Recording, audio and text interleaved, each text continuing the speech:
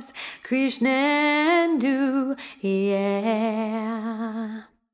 One happy birthday dot com.